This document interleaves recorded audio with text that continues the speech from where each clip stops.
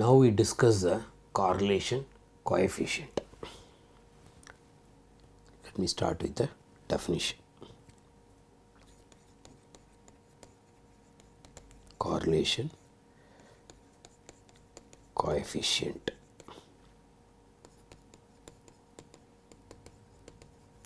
Definition. Let x and y be random variables such that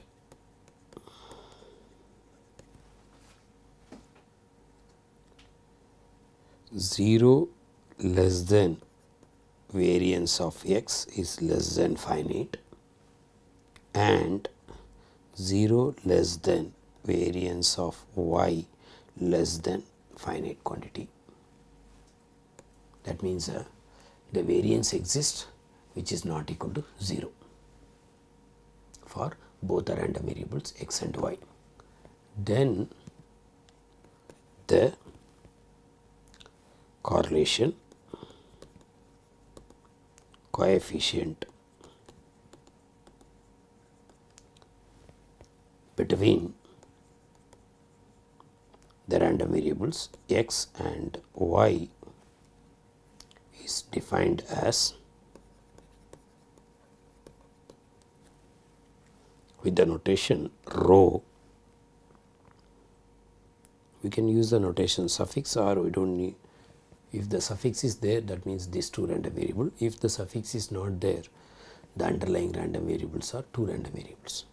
The correlation coefficient that is same as covariance between the same two random variables divided by the positive square root of variance of x multiplied by positive square root of variance of y. Since these two comes in the denominator, we are making the restriction the variance has to be strictly greater than 0 for both x and y. This value is going to be called it as a correlation coefficient between the random variables x and y. I am going to give few results over the correlation coefficient.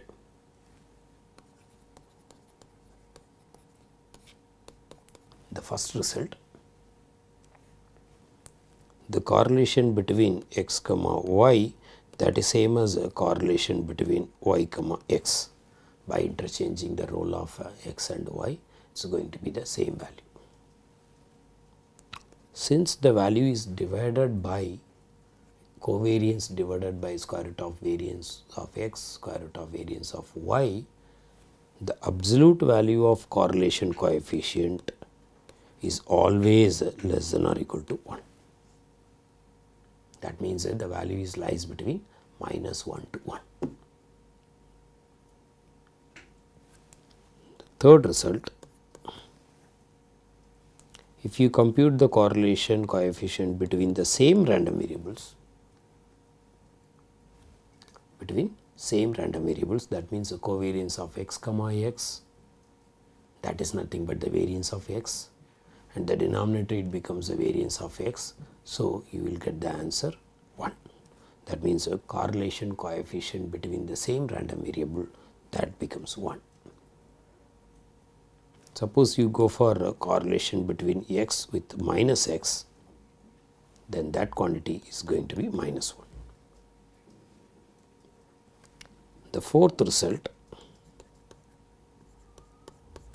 that is uh, the correlation coefficient of uh, a x plus b where a and b are constant with the random variable y that is going to be if you use the results of uh, covariance between any two random variable when one random variable is a x plus b the other one is y use that result you will get uh, it is a correlation coefficient of uh, x comma y for any constants a comma b with the A is greater than 0. This can be proved, but we are not giving the proof of this result, but this results will be used again and again. As a fifth result, suppose the random variable x and y are independent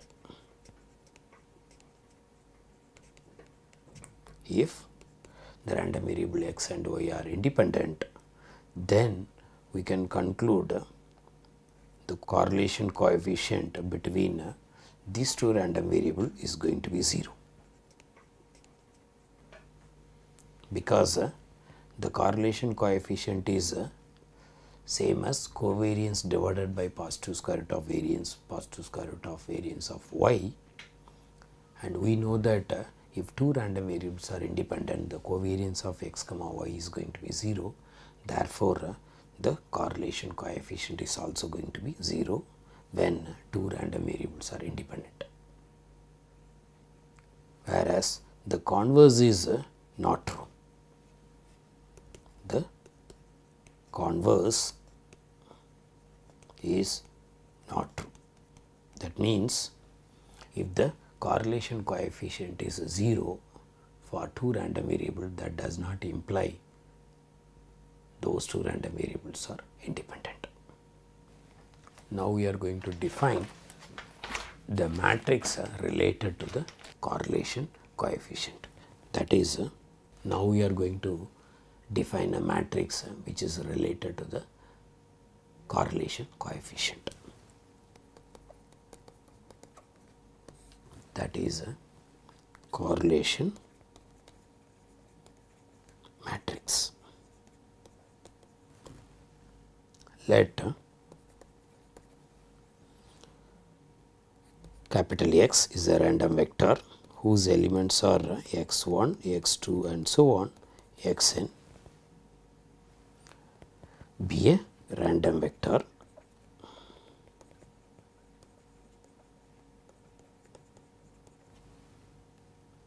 With individual variance of the random variable has to be not equal to 0 and it is a finite quantity for uh, i is equal to 1, 2 and so on all n random variables. Then the correlation matrix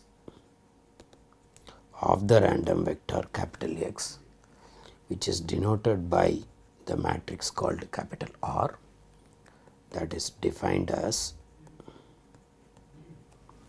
capital R. Earlier we have used the notation sum that is for the covariance variance matrix and here we are using capital R for correlation matrix whose elements are the diagonal element is 1 and the second element is uh, first row second element is correlation coefficient between x1 with x2 and so on the first row last element that is the nth element is a correlation coefficient between x 1 with x n.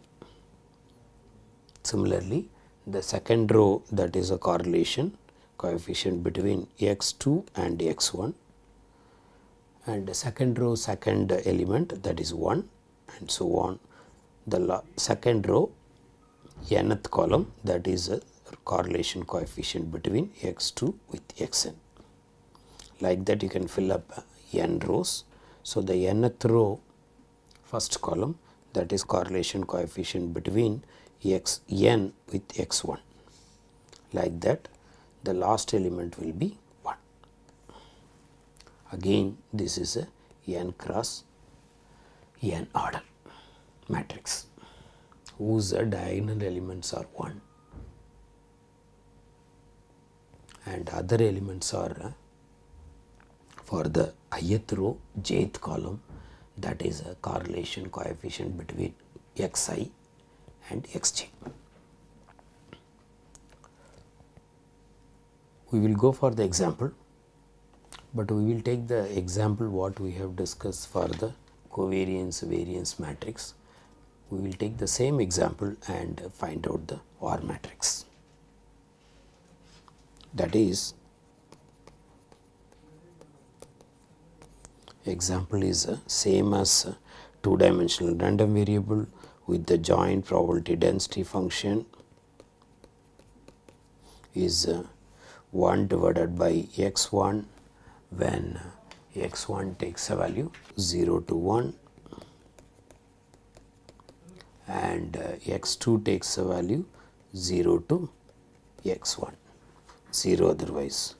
We have already computed we have already computed the expectation of x1, expectation of x2, expectation of x1 square, expectation of x2 square, then expectation of x1, x2. Using that we got the covariance between x1, x2 also and variance of uh, x1 as well as variance of x2. Therefore, in the same example, the R matrix is going to be 2 cross 2 matrix 1 and the second element is a correlation coefficient between x1 with x2 and this is correlation coefficient between again x2 with x1 that is same as x1 with x2 because of symmetric and uh, last element is 1 that is 2 cross 2 matrix. So, we have to compute uh, what is the correlation coefficient between x1 x2. So, correlation between x1 comma x2 that is a covariance between x1 with x2 divided by square root of variance of x1 multiplied by square root of positive square root of variance of x2.